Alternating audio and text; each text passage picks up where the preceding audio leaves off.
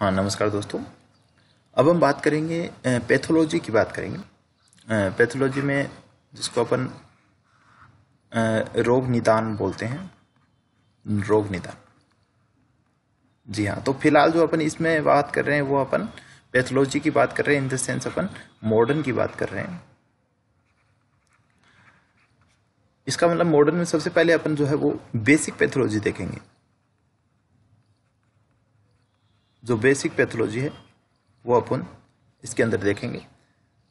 जी हाँ और इसके डिस्क्रिप्शन में इसकी नोट्स भी प्रोवाइड करवा दी जाएँगी। तो आप नोट्स वहाँ से ले लेना, क्योंकि अब जो वीडियो में जो नोट्स पॉसिबल नहीं है, बाकी आप एक कॉपी पेन लेके रखा करें साथ साथ थोड़ा थोड़ा लिखते रहा करें, ताकि वो रिवीजन करने में काम आए।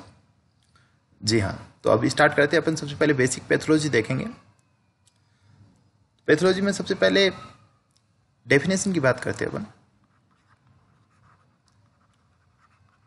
डेफिनेशन की बात करते हैं। जी हाँ। तो इसमें क्या है कि पैथोलॉजी पैथोलॉजी इसमें आप भी देखते हैं बुक्स में भी आपको इजीली मिल जाता है कि ये दो शब्दों से बनती है। एक तो पैथोस हो गया, एक लोगस हो गया। तो लोगस का मतलब साइंस होता है पैथोस का मतलब होता है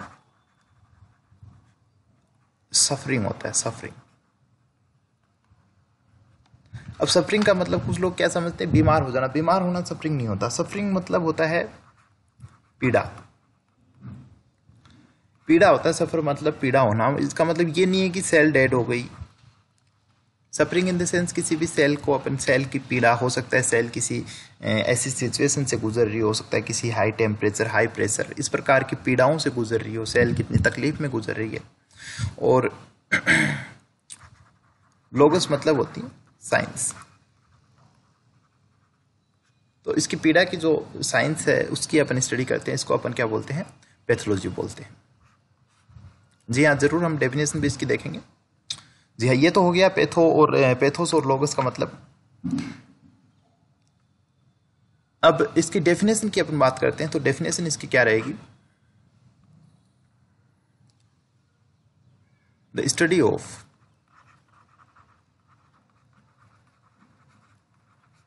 study of किस चीज़ की study structural and functional abnormalities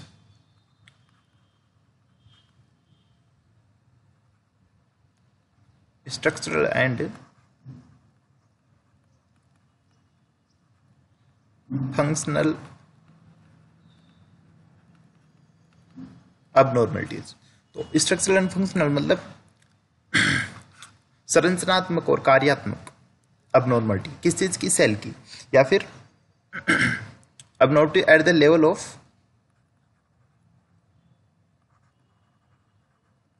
level of cell tissue and organ organ तक। मतलब बड़े लेवल तक अपन छोटे से शुरू करते हैं सेल की स्ट्रक्चरल और फंक्शनल भी कर सकते हैं, हम टिश्यू की बात कर सकते हैं ऑर्गन की बात कर सकते हैं, यहाँ तक कि एक पूरे सिस्टम की भी बात कर सकते हैं। सिस्टम सिस्टम का मतलब क्या होता है? जैसे रेस्पायरेटरी सिस्टम की अपन बात कर रहे हैं या फिर सर्कुलेटरी में बात कर रहे हैं तो सर्कुलेटरी सिस्टम की अगर हम बात करते हैं तो पूरा हार्ट से लेकर के जहाँ जहाँ ब्लड जा रहा है आर्टरीज वेंस सबके नेटवर्क की पूरी बात करते हैं। तो यहाँ तक कि उसकी स्ट्रक्चर और फंक्शनल सिस्टम की अपन बात कर सकते हैं। इसके अंदर इसको अपन क्या बोलते हैं? पैथोलॉजी बोलते हैं। तो ये आप डेफिनेशन के रूप में इस्तेमाल कर सकते हो। जी हाँ इसके बाद आप कुछ बुक्स में शब्द देखते हो, हम उनकी ज़रूर बात करेंगे। एक पैथोलॉजी के लिए शब्द आता है कि pathology is bridge between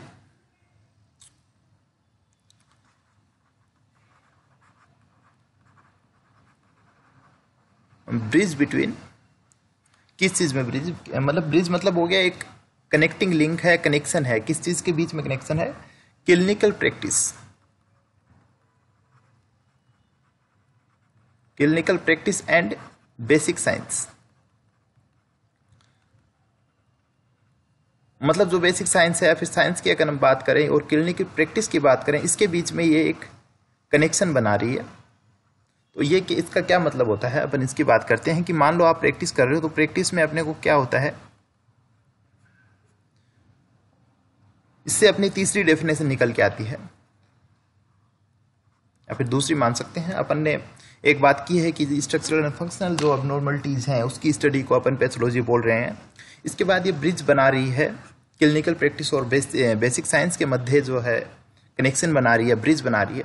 तो इसको हम कैसे समझ सकते हैं, किस प्रकार से ब्रिज बना रहे हैं? तो इसके लिए हम एक चीज़ और देखेंगे। उसके बाद ये समझ में आता है कि पैथोलॉजी क्या चीज़ होती है।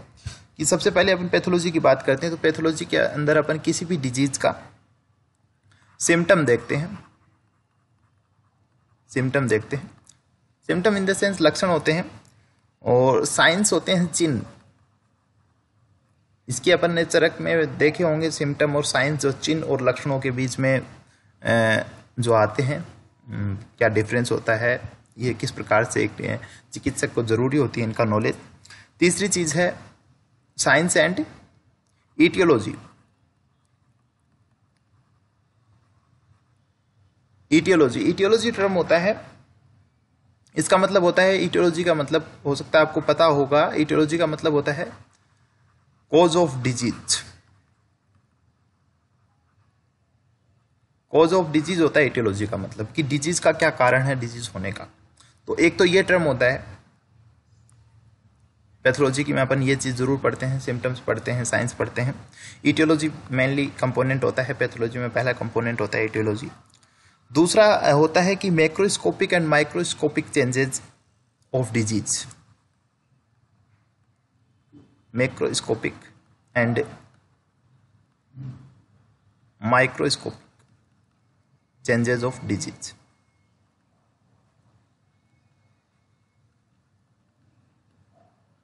जी हाँ।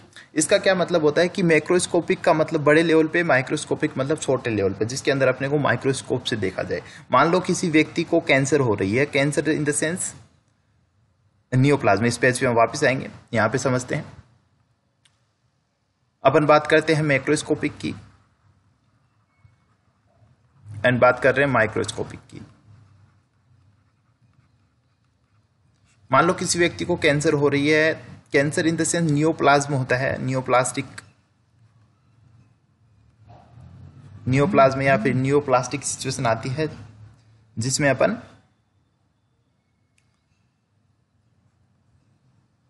बात करते हैं। कैंसर की। तो कैंसर में जो है न्यूप्लास्टिक सिचुएशन आती है, जो सेल्स की जो ग्रोथ होती है, वो अनकंट्रोलेबली जो है वो बिना कंट्रोल के बढ़ने लग जाती है। तो इसमें सबसे पहले माइक्रोस्कोपिक की बात करते हैं, या फिर चलो माइक्रोस्कोपिक की बात करते हैं कि एक ऐसी सिचुएशन आती है कि जिसमें इनिशियली इनिशियली सेल की जो ग्रोथ शुरू होती है इनिशियली ग्रोथ होती है सेल की। अब इनिशियल ग्रोथ का मतलब अपन क्या समझ सकते हैं?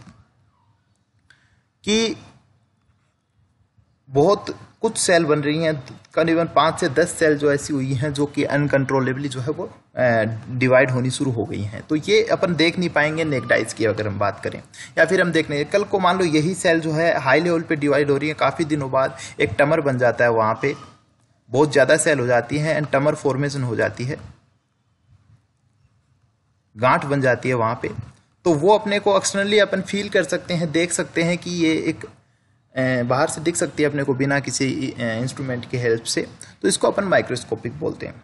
जी हाँ बिल्कुल, हम ये समझ चुके हैं। इसके बाद अपन वापस उसी पे चलते हैं। पहले अपन बात कर रहे थे कि सेकंड पॉइंट है कि pathology is the study of microscopic and microscopic changes of disease तीसरा पॉइंट अपना आता है कि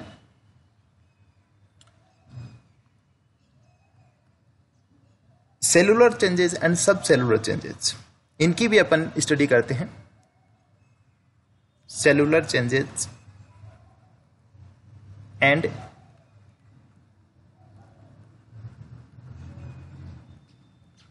sub cellular changes इसकी भी अपन स्टडी कर रहे हैं कि cellular changes and sub cellular changes ये इंटरलिंक्ड होते हैं एक दूसरे से, जुड़े हुए होते हैं। सेलुलर चेंजेस की अपन बात करते हैं कि सेल के अंदर कौन से चेंज आ रहे हैं। चेंज सेल के अंदर चेंज आ गए। मान लो उसकी सेल मेम्ब्रेन डैमेज हो रही है, या फिर इस प्रकार से उसमें कोई आयंस की कंसंट्रेशन बढ़ रही है तो ये सेलुलर चेंजेस होते हैं।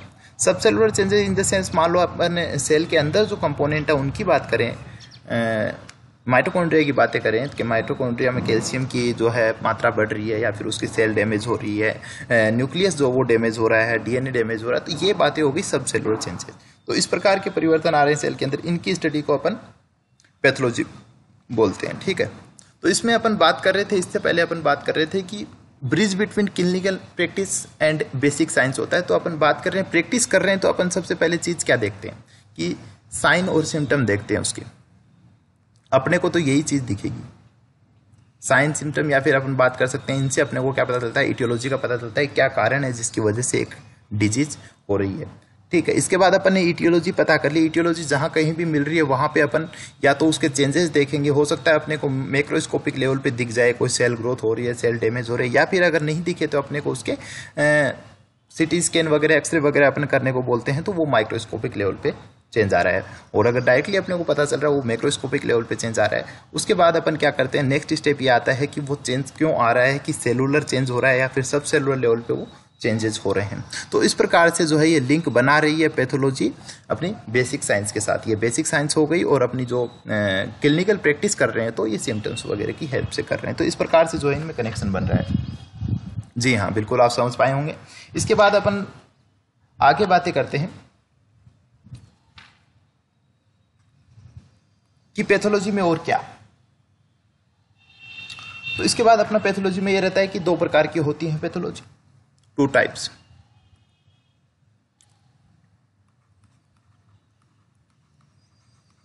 two types होती है pathology.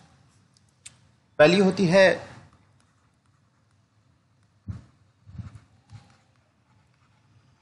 general pathology and second one is systemic pathology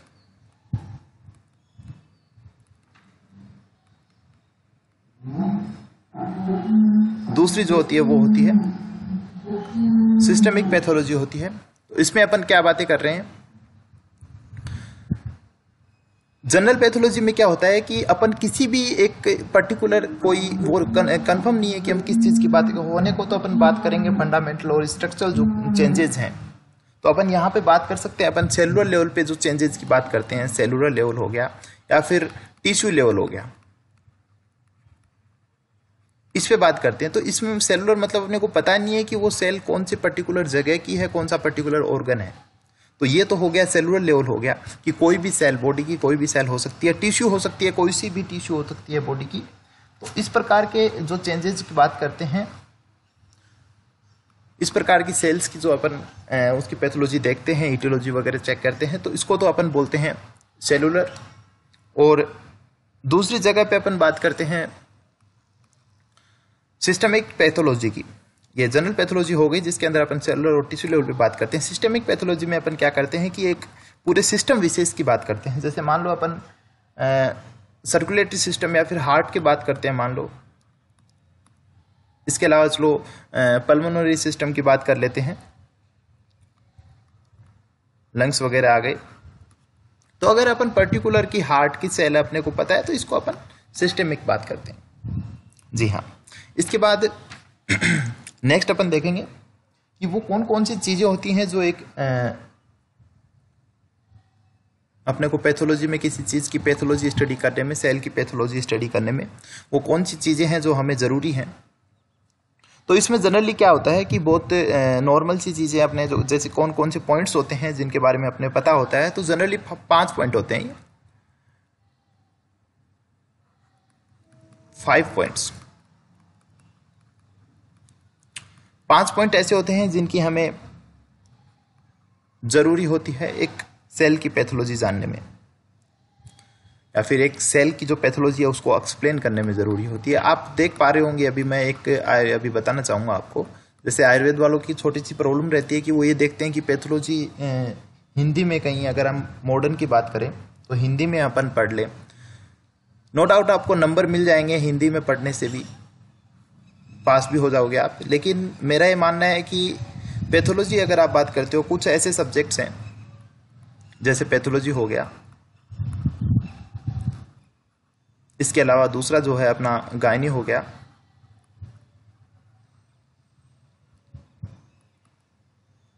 पीडिया हो गया। और भी हैं। ये कुछ ऐसे सब्जेक्ट्स होते हैं जिनको आप हो सके तो मॉडर्नली पढ़ने की कोशिश की जाए। आधुनिक तौर पे ही पढ़ने की कोशिश की जाए तो ज़्यादा बेटर रहेगा। क्योंकि अब अब आप संतुष्टि ले लोगे कि अपने को याद हो रहा है या फिर अपन हिंदी में पढ़ रहे हैं, लेकिन ज़्यादातर टर्म ऐसे होते हैं जो इंग्लिश में तो वो सेम ही रहते हैं। बस उनको लिख हिंदी में तो इतना ही फ़र्क रहता है। तो मेरा ये मानना है कि आपको इंग्लिश में पढ़ना चाहिए। दूसरी बात, ये जो सब्जेक्ट्स हैं, जिनकी अपन यहाँ पे थोड़ी सी बातें कर रहे हैं, इसमें फार्मिकोलॉजी वगैरह भी इंक्लूड कर सकते हैं। ये जो सब्जेक्ट्स हैं, इनमें क्या है कि ये यूपीएससी अगर आप प्रिपरेशन फॉर यूपीएससी करना चाहते हो तो उसके लिए काफ़ी महत्वपूर्ण सब्जेक्ट हैं इंपॉर्टेंट है। तो वहाँ पर भी गो थ्रू कर सकते हो, बाकी ज़माने की डिमांड को देखते हुए ज़रूरी है कि आप थोड़ा इसको इंग्लिश में ही पढ़ने की कोशिश करें। थोड़ा सा शुरू में हो सकता है जो हिंदी मीडियम से बिलोंग करते हैं, उनको टिपिकल लगे, लेकिन सही यही रहेगा आपके लिए। जी हाँ। बातें करते हैं फाइव एस्पेक्ट्स ऑफ़ पैथोलॉजी जिनकी हमें ज़रूरी है किसी सेल की पैथोलॉजी को समझाना। फाइव एस्पेक्ट्स या फिर फाइव पॉइंट्स हैं। तो ये फाइव एस्पेक्ट्स कौन कौन से हैं? बहुत ब्रीफली बात करेंगे अपन। सबसे पहले इटियोलॉजी इटियोलॉजी जी हाँ इटियोलॉजी अपन बात कर रहे थे। इटियोलॉजी क्या होता है? इटियोलॉजी होता है कोज ऑफ़ डिज़ीज़ एक डिज़ीज़ हो रही है, उसका कारण क्या है? कोज ऑफ़ डिज़ीज़ दूसरा जो है दूसरा पॉइंट है पैथोजेनेसिस दूसरा पॉइंट है पैथोजेनेसिस पैथोजेनेसिस क्या होता है? कि पैथोजेनेसिस होता है कि अपने को जो जहाँ पे अपना इन्फेक्शन हो रहा है, जब से इन्फेक्शन हुआ या फिर जब से डिज़ीज़ हो रही है तो उसका क्या क्या प्रोसेस रहा? मान लो अपने को मलेरिया हो रही है तो उसमें सबसे पहले अपने प्लाज्मोडियम का अटैक हुआ, उसके बाद वो लीवर में चला जाता है, लीवर में उसकी ग्रोथ हो रही है। तो इस प्रकार से आगे क्या, किस प्रकार से उसका रिप्रोडक्शन हो रहा है, आगे किस प्रकार से गेमेटोसाइट्स वगैरह ट्रांसफ़र हो रहे हैं तो वो सारा जो जितना भी किस प्रकार अपने को फीवर आ रहा है, वो सारा जो कार्यक्रम होता है, वो पैथोजेनेसिस के अंदर में आता है। तो इसको अपन क्या बोलेंगे? मेकानिज्म मैकेनिज्म बोलेंगे? मैकेनिज्म ऑफ़ डिज़ीज़ किस प्रकार से डिज़ीज़ हो रही है, इस चीज़ को अपन पैथोजेनेसिस बोलेंगे। थर्ड पॉइंट अपने आता है।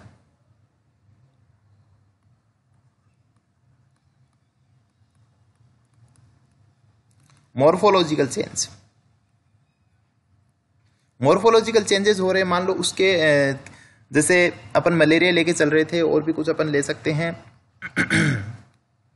उसमें क्या हो रहा है? बॉडी में कहाँ चेंज आ रहा है? हो सकता है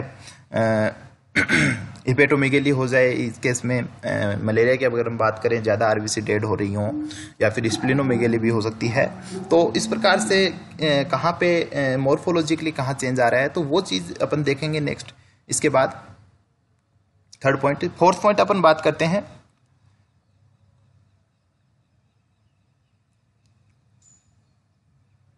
जी हाँ फोर्थ पॉइंट की अपन बात करते हैं कि फंक्शनल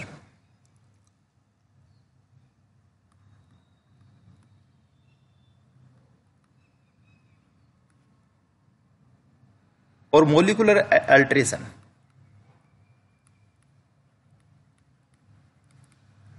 ये पॉइंट उतना वो नहीं है, लेकिन समझना ज़रूरी है। अल्ट्रेशन मोलिकुलर अल्ट्रेशन की बात करते हैं कि कभी कभी क्या होता है, कुछ डिज़ीज़ ऐसी होती हैं, जैसे मान लो अपन बात करते हैं सिकल सेल एनीमिया की बात करते हैं, उसमें क्या होता है मोलिकुलर अल्ट्रेशन मतलब उसके अंदर जो ग्लूटामिन वगैरह, जो अमीनो एसिड्स हैं, उनकी पोजीशन चेंज हो जाती है। तो उनका ये, तीसरा ये फंक्शनल की अगर बात करते हैं तो जैसे फ़ंक्शन चेंज हो जाना तो उस केस में क्या होता है कि बॉडी की जो सेल्स की जो फंक्शनिंग है, उन पर काफ़ी इफ़ेक्ट आता है। तो उनका अपने को पता होना चाहिए कि फ़ंक्शन पे किस प्रकार से इफ़ेक्ट आ रहा है फ़ंक्शन किस प्रकार से इंक्रीज और डिक्रीज हो रहे हैं सेल्स के। जी हाँ। नेक्स्ट अपन बात करते हैं पाँचवें पॉइंट की अपन। फिफ्थ पॉइंट अपन देख रहे हैं। फिफ्थ पॉइंट में क्या होता है कि साइन एंड सिम्टम अपने को पता होना चाहिए। साइंस एंड सिम्टम्स अब मान लो अपन जैसे मलेरिया लेके चल रहे थे तो sign and symptoms in the sense ये है कि जैसे मान लो आपको मलेरिया हो रहा है तो नॉर्मल पेशेंट आपके पास में आएगा, वो तो ये बताएगा फीवर हो रहा है। उसको नहीं पता है कि कौन सी फीवर है फीवर में भी ऑफ़ मैनी काइंड्स तो फीवर तो बहुत प्रकार की हो सकती हैं तो अपने को ये किस प्रकार से पता करना है कि उसको मलेरिया हो रहा है या फिर कोई दूसरी फीवर हो रही है। तो इस प्रकार की पता करने के लिए अपने को पता होना चाहिए। हम उनसे पूछेंगे कि किस आपको उसके फीवर का टाइमिंग वगैरह या फिर किस प्रकार से फीवर हो रही है सिवरिंग वगैरह की सिचुएशंस पूछ के तो उनके साइन एंड सिम्टम्स से क्या है, अपन ये पता लगाएँगे कि उसको किस प्रकार की फीवर है। तो ये पाँच प्रकार की चीज़ें होती हैं, जिन, जो एक किसी भी डिज़ीज़ की या फिर किसी भी सेल की पैथोलॉजी को समझने में हमें ज़रूरी होती है। जी हाँ आज अपन इतनी ही बातें करते हैं। नेक्स्ट वीडियो में अपन देखेंगे कि सेलुलर एडेप्टेशन किस प्रकार से होते हैं? और कौन कौन से होते हैं सेलुलर एडेप्टेशन इन सब की बातें करेंगे। नोट्स आपको जल्दी इसकी डिस्क्रिप्शन में अवेलेबल हो जाएँगे। आप ज़रूर डिस्क्रिप्शन देखिएगा इसका। जी हाँ। ओके और आप कोशिश कीजिए आप मॉडर्न मॉडर्न कंसेप्ट से समझने की पैथोलॉजी को। कोई भी दिक्कत आती है, आप ग्रुप में क्वेश्चन कर सकते हैं, पूछ सकते हैं और वैसे भी आप, ज़रूर कोई आपका सारी प्रॉब्लम है, वो सोल्व की जाएँगी। और आप इस चैनल से जुड़े रहिए, थोड़े लोगों को भी जोड़िए, ताकि आपको ज़्यादा डिस्कशन करने का मौका मिलेंगे, ज़्यादा रोग रहेंगे, ज़्यादा क्वेश्चन आएँगे, ज़्यादा आंसर्स रहेंगे, ज़्यादा आपके दिमाग से ज़्यादा जो है वो निकलेगा मटेरियल तो आपको ज़्यादा समझ में आएगा। जी हाँ ओके धन्यवाद।